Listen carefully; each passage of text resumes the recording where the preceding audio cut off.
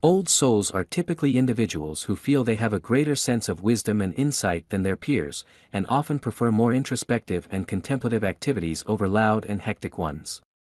For those seeking careers that align with these tendencies, here are some options to consider. 1. Writer. Writing can be an excellent career for old souls, as it allows for introspection and the exploration of deeper themes and emotions. Whether it's fiction, non-fiction, or poetry, writing provides an outlet for expression and self-reflection. 2. Counselor or therapist, as an old soul, you may have a natural inclination towards listening and helping others. A career as a counselor or therapist could be fulfilling. As it allows for the opportunity to provide guidance and support to those in need. 3. Historian or archivist, old souls often have a strong interest in history and preserving the past. A career as a historian or archivist allows for the opportunity to delve deep into the past, uncovering hidden truths and preserving important artifacts for future generations. 4.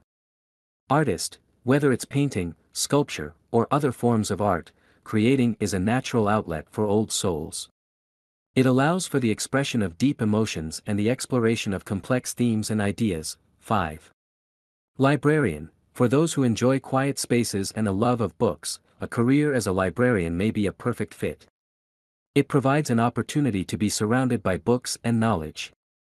And to help others find the information they need. 6. Teacher or professor, old souls often have a desire to share their knowledge and experience with others. A career as a teacher or professor allows for the opportunity to inspire and educate the next generation. 7. Religious or spiritual leader, for those with a deep sense of spirituality, a career as a religious or spiritual leader may be fulfilling. It provides an opportunity to guide and inspire others in their spiritual journeys.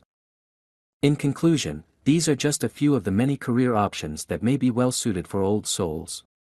Ultimately, the best career for any individual depends on their unique skills, interests, and passions.